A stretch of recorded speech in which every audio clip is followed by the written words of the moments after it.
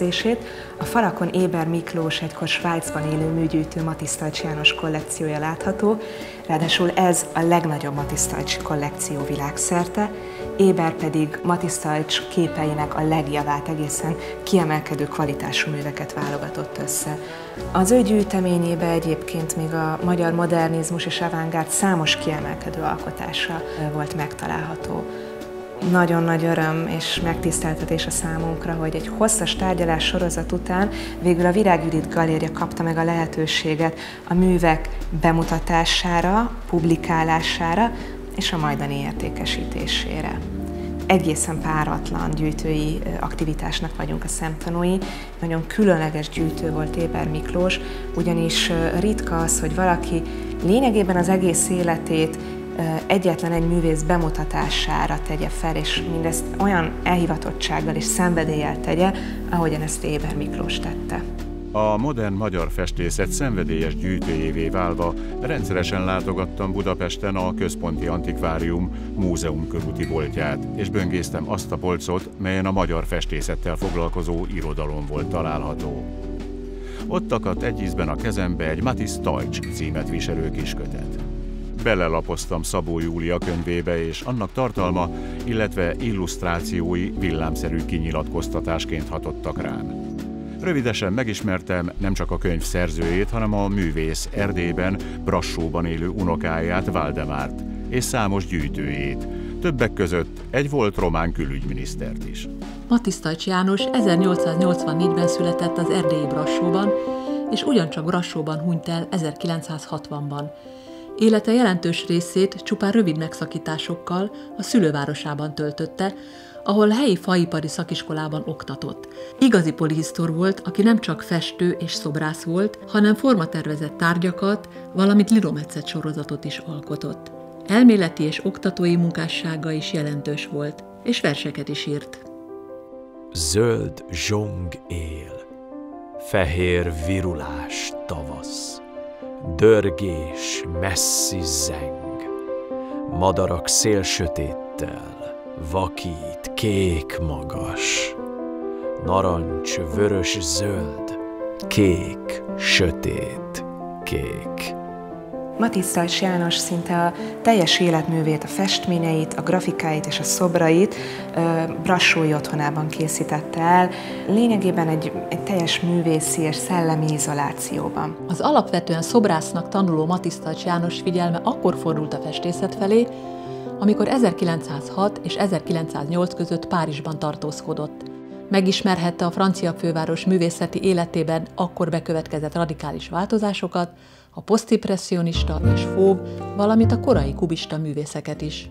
Most a kiállításon Matisztajcs János legjelentősebb avantgárd periódusának az 1910 és 1927 között készült alkotásainak jelentős része látható.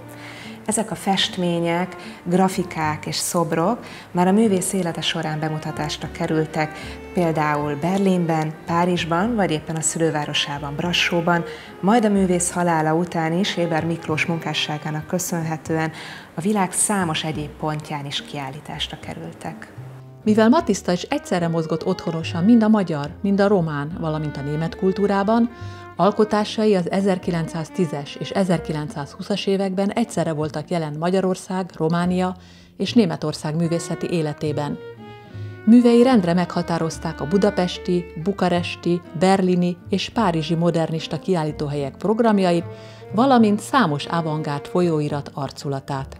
Nagyon érdekes és annál inkább csodálatra méltó, hogy bár Matisztajcsi János lényegében elzárva élt Brassóban, ennek ellenére milyen kiemelkedő módon járult hozzá az 1910-es és az 1920-as évek nemzetközi avantgárd mozgalmaihoz, hogy a korabeli szakirodalomban őt együtt emlegették Kandinskival, vagy éppen Mark Chagall-lal. Szoros együttműködésben állt és szoros kapcsolatban állt olyan nemzetközi vagy éppen hazai expressionista és konstruktivista csoportokkal, mint mondjuk Kassák Lajos budapesti Ma csoportja, vagy éppen a legendás berlini Der Sturmgaléria, vagy a bukaresti Contemporano, Punkt és Integrál folyóiratok körül csoportosuló művészek.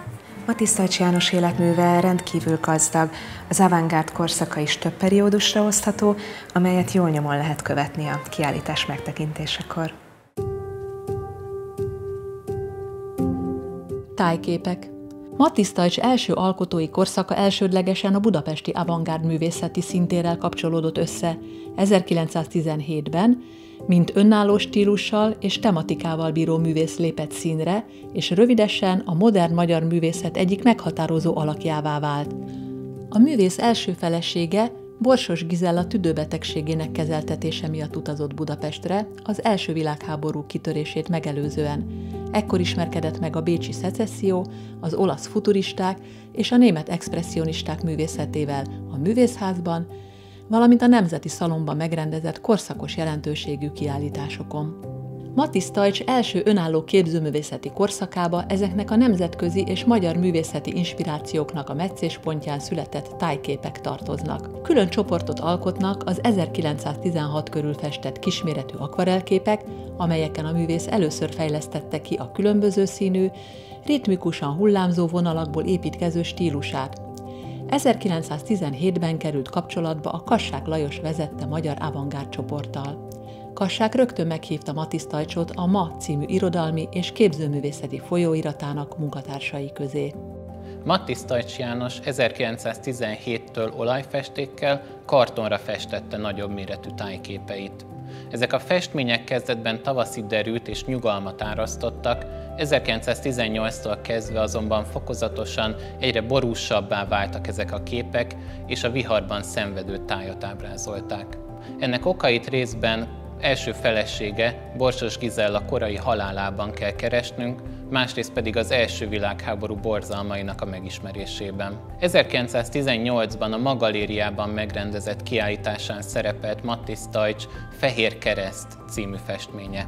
Ezen a kompozíción jól látható, hogy Mattis Tajcs a festményein a tájat antropomorfikus tulajdonságokkal ruházta fel, tehát ezeken a kompozíciókon a fák emberi érzelmek és emberi tulajdonságok kifejezőivé váltak. Ez az elképzelés összekapcsolható Mattis Tajcs ismert spirituális érdeklődésével is. A spirituális érdeklődés mellett Mattis Tajcs festményeinek zeneisége is összekapcsolja korai műveit a német expressionistákkal, különösen Vasili Kandinsky és Alexei Javlensky művészetével, akik a Der Blaue Reiter művészcsoport tagjaiként 1913-ban Budapesten is bemutatták műveiket. Mattis Tajcs tájképeinek stílusa és felfogása emellett közel áll a nemzetközi hírnevű norvég művész Edvard Munch festészetéhez, aki ebben az időszakban szimbolista, expressionista stílusban alkotott. Érzetek és alakok 1918 és 1920 között készített festményeit Mattis Tajcs János érzeteknek nevezte. Ezeken az absztrakt kompozíciókon már nem fedezhetők fel természeti motivumok, a képeket absztrakt, színes fénypászmák és erővonalak foglalják keretbe. Az érzetekkel párhuzamosan Mattis Tajcs figurális képeket is készített, az Alakok című sorozaton a szintén absztrakt, csupán néhány vonallal jelzett emberi formák, emberi alakok egymásra utaltan, összekapcsolódva, együtt haladva jelennek meg. Túlnyomó részt olyan kompozíciókon dolgozom, amelyekben az ember a kiinduló pont. A munkák konstrukciója színes, ritmikus mozgásokból áll.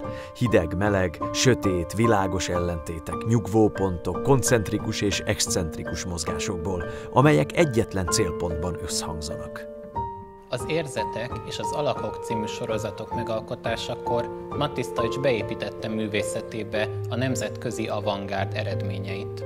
Kassák Mat című folyóiratán keresztül Mattis Tajcs a tízes évek végén megismerte a kubista, expressionista és futurista festők legfrissebb alkotásait. 1918-as berlini látogatásakor személyesen is megismerkedhetett a Herbert Walden által vezetett Der Sturm Galéria expressionista művészeinek újabb alkotásaival. Mattis Tajcs Érzetek című ciklusának nemzetközi kontextusához tartozik az organikus abstrakció korai művészete, többek között a Párizsban dolgozó cseh művész František Kupka alkotásai, valamint a Müncheni Der Blaue Reiter csoportot megalapító Vasily Kandinsky korai absztrakt alkotásai is. Lelki virágok Mattisztajcs korai avantgárd korszakának legegyedibb sorozata a 20-as évek első felében festett Lelki virágok. Ezek az absztrakt kompozíciók megalapozták nemzetközi hírnevét a Der Sturm galériában. A lelki virágok abszolút időtlen képek, a tiszta képszerűség megnyilvánulásai. Matisztajcs tudatosan felépített, művészetelméleti megalapozottságú és nemzetközileg tájékozott életművében önálló egységet képeznek. Az első világháború utáni újrakezdés az avantgárd utópikus programjai között Mattis organikus abstrakciója egy egyéni hang volt. A lelki virágok sorozatával a 20-as évek elején Európa számos országában aratott nagy sikert kiállításain. A 20-as évek elejének berlini avantgárd művészeti galériája, a Der Sturm például rendszeresen mutatta be újabb festményeit. 1921-ben Paul Klével közös kiállításon mutatkozott be a berlini galériában. A művészet vezesse a kor magasabb fogalom világába az ember függőlegesek, mint a tevékenység támaszai, magasba törő felépítés. Hagyomány nélküli műszaki civilizációnk megteremti saját műformáját, saját új embertípusát. Mattisztacs nem a konstruktivizmus technológiai utópiája felől közelített az abszolút művészethez. A természetközeliség, a biocentrikusság és a spiritualitás határozta meg absztrakcióját. Úgy vélte, hogy az avantgárd művészek megalkothatják saját koruk képét, Matti Stajcsi lelkivirágai optimista és derűs hangulatot árasztó képek, amelyekben a 20-as évek tisztulási törekvése mutatkozott meg. 1921 és 24 között készített Lelki Virágok című sorozatában két alcsoport fedezhető fel. 1921 és 22 között készített festményein homogén, élénk színű háttér előtt egy csíravonal mentén kibontakozó bimbószerű formákból építette fel a lelki virágok kompozícióit. 1923-tól kezdve a lelki virágokon megjelent a konstruktivizmus rendezőelve, a geometrikusabb, dinamikusabb kompozíciókon előtérbe kerültek az erőteljes színkontrasztok is. 1923-ban Mattisztajt számos már kiérlelt kompozícióját készítette el nagy formátumban. Ezeket a festményeit a nemzetközi kiállításokon történő bemutatásra készítette el. A 40. számú kompozíció címet viselő alkotáson például Franz Mark jól ismert kék lovainak motivuma köszön vissza absztrakt formában. Mattis Tajcsa lelki virágokat linoleum metszetek formájában is elkészítette. Ezek a metszetek avantgárd folyóiratokban jelentek meg, Párizstól, Berlinen és Budapesten át egészen Bukarestig, és így biztosították a művész nemzetközi hírnevét az 1920-as évek első felében. A festő nem ad érzést ébresztő jelenségeket, azaz tárgyi formákat. Nem ezek útján akarja érzését kifejezni, hanem tiszta érzést akar adni, szemeinken át érzésünkhöz szól nem a természet visszaadása, hanem egy magas érzés dönti el a műalkotás értékét. Alakok Matti Stajcs 1924-től kezdve a lelki virágok folytatásaként kezdett el ismét figurális kompozíciókat készíteni. Ekkor készített képein az expressionizmus lendületes erővonalai helyett az új rendet hirdető konstruktivizmus logikus, mérnöki precizitású képszerkesztési elveinek hatását fedezhetjük fel. A nemzetközi avantgárd művészetben az 1920-as évek közepén jelent meg a rendhez való visszatérés jelszava. Ehhez a folyamathoz kapcsolódott Matisztajcs is, aki az új festményein az új ember képét formázta meg, nyúlánk, tetrekész, mesztelen alakokat, akik egyedül vagy párban állnak semleges, geometrikus elemekből összeállított háttér előtt. Mattis Tajcs legkiterjedtebben utolsó avantgárd periódusának alkotta meg az elméleti keretrendszerét. Az 1931-ben megjelent Művészet ideológia című kötetéből kiderül, hogy Mattis Tajcs a politikai és szellemi tartalom együttes közvetítésével próbálta meg művészetét létrehozni, és célja hosszú távon a társadalom átformálása volt. A kötetből kiderül, hogy ezeken az alkotásain a vízszintes, azaz a nyugalom, és a függőleges, azaz az aktivitás koordináta rendszerében helyezte el alakjait, és ezeknek az összeegyeztetésén keresztül próbálta meg megalkotni az új ember, az új társadalom képét.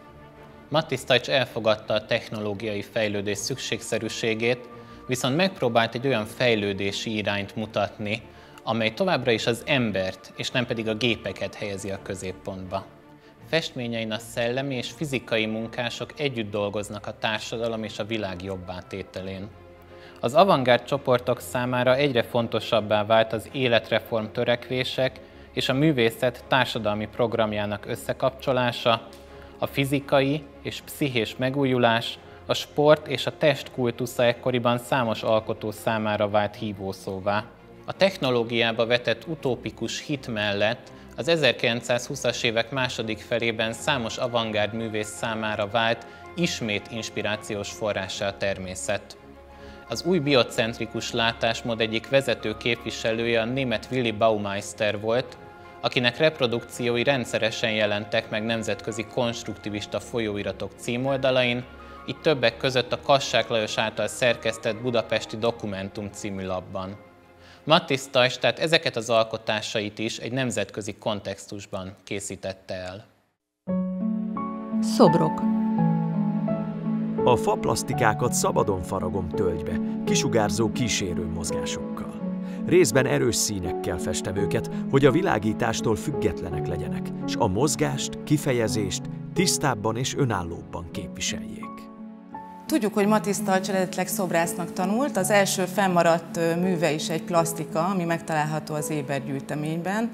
A dísztányér hátoldala szerint ezt Matisz Talcs 1901-ben Brassóban készítette, és a vizsgamunkája lehetett. Ez egy szecessziós stílusegyeket magánhordozó dísztányér, körülötte inda motivumok vannak, középen pedig egy női portrét formázó dombormű. Egy ideig utána abba hagyta a szobrászatot, nem igen foglalkozott vele, majd a tízes évek közepén tért hozzá vissza megint, és gyakorlatilag a szobrászi tevékenysége végigköveti a festészeti grafikai munkásságát. Mattis Tajcs alapvetően nem foglalkozott kővel, és gipszel is csak a tanuló éveiben. Az ő anyaga a fa volt. Ismerte a fák valamennyi tulajdonságát, pontosan tudta, hogy mikor kell cseresznye vagy megyfát választania az eltervezett szoborhoz, Mindent tudott a fa megmunkálásáról is. Szobrai változatosak. Találunk festés nélküli, pusztán a fa felületének megfaragásával létrehozott alkotásokat, vagy aranyra és színesre festett, lakkozott vagy polírozott szobrokat is. Faszobrain élénk színeket használt, amelyek által a mozgás még kifejezőbbé vált. A 10-20-as évek fordulóján Matisse Talcs reliefszerű, absztrakt alakokat ábrázoló szobrokat készített. Jellemző volt Matisse Talcsra, hogy egyfelől kisebb, intimebb szobrokat készített, fával dolgozott, és akár használati tárgyként is funkcionálhattak ezek a szobrok. A közelről megnézzük, akkor pontosan látható, hogy milyen mozgással, intenzitással faragta ezeket a szobrokat. A hátoldalát is megmunkálta, annak ellenére, hogy csak egy nézetre komponálta őket. Ebben az időben Matisse Talcsra főként a századfodós modern művészek hatottak, mint például Paul Gauguin vagy Pablo Picasso, ezen kívül a törzsi szobrászat, illetve a totemek. És Matisse Tacs számára fontos inspirációs forrás volt a Párizsban élő ukrán Alexander Arhipenko. Az 1920-as évek végén Matisse Tacs az új embertípus programjához híven elnyújtott hosszú, elhajló, térdeplő női alakokat formált meg. Az előző korszakához képest már egy egészen finom felületű szobrokkal találkozunk, melyek ugyancsak kisméretűek, vagy egy színűre, aranyra, ezüstre festette be őket, vagy lakkal vonta be. Matisztas nagyon sokoldalú művész volt, nem csak festett, grafikákat készített, hanem használati tárgyakat is, mindent feldíszített maga körül. A Bukaresti Iparművészeti Iskolával együttműködve készítette a lámpáit, illetve a gyűjteményben található pipáit és pipatartó dobozát.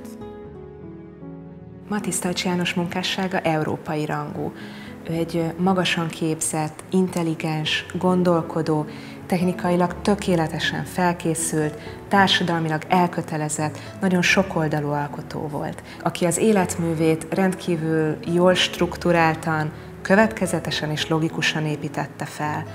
Nagyon kevés olyan művészt ismerünk, aki szinte valamennyi képzőművészeti ágban, tehát a festészetben, a szobrászatban és a sokszorosított grafikában is egyenértékű tudott alkotni, tehát Matisztajcsi János helye a nemzetközi művészetben megkérdőjelezhetetlen. Éber Miklós tudatosan és elkötelezetten hozta létre ezt a kollekciót. Életének utolsó évtizedét szinte kizárólag Matisztajcs János munkásságának szentelte. Számos művészettörténeti tanulmányt, cikket írt és publikációt készített a gyűjteményének legjelentősebb darabjairól, valamint létrehozott egy angol-magyar nyelvű weboldalt is, hogy nemzetközi szinten is megalapozza Matisztajcs Jánosnak a hírnevét. Itthon pedig Jurecskó László és Kishonti Zsolt, azaz a Misszionárt Galéria két tulajdonosa végzett kiemelkedő munkát Matisztajcs János elismertetéséért. Számos kiállítást hoztak létre, itthon is és külföldön is, amelyel megalapozták Matisztajcs János nemzetközi hírnevét. Mi úgy véljük, hogy ez a páratlanul gazdag és jelentős gyűjtemény Éber Miklós kívánságának megfelelően megérdemelné, hogy egyben maradjon, és a magyar kulturális örökség részévé váljon. Éber Miklós is abban bízott, hogy akár egy felelősségteljes intézményi befektető, vagy egy tehetős magángyűjtő majd megakadályozza ennek a gyűjteménynek a széthullását, azonban a jelenlegi tulajdonos nem zárkózott el attól sem, hogy majd a jövőben egyenként értékesítse a gyűjtemény darabjait. Azonban számunkra ennek a gyűjteménynek a bemutatása és a feldolgozása, amely Szeredi Merse Pál érdeme, egy fantasztikus lehetőség volt.